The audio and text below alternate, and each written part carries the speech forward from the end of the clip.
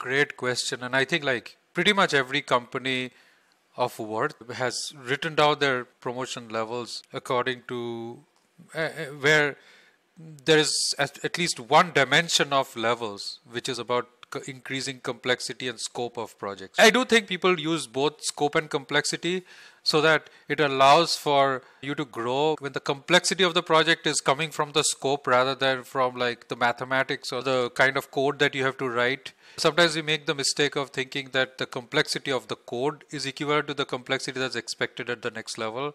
It's not really that. It's really about what is the problem? How nebulous is the problem statement? What do people expect from someone at your level versus people at the next level and how you deliver? So i think it is important to grow your problem scope. And the complexity could come in many forms. It could be that you're doing something no one else is doing in the industry or in your company or it could be that you're doing it at a scale that no one else has attempted before or it could be that even your manager and your reporting chain doesn't know how to solve a problem and you come up with that. So there are different ways in growing scope and complexity and i think a lot of times the best ways to sort of pitch yourself for the next level through scope and complexity is to pitch it yourself really survey the land that you're in and basically say hey i'm doing this this feels like an opportunity that no one is working on. Can you have a conversation with your reporting chain? Hey, can I go into that territory and expand my scope on my own? Like a lot of times I find I ICs wait to be given opportunity. I don't see people creating opportunities for themselves as much. The reality is, by nature, in, humans are inherently selfish. And so they mostly think about themselves. You like to think that everyone is thinking about you, but most people are just thinking about themselves, right? So even when it comes to creating uh, opportunities for you, you are the most likely candidate to create more opportunity for yourself by making a compelling case for it.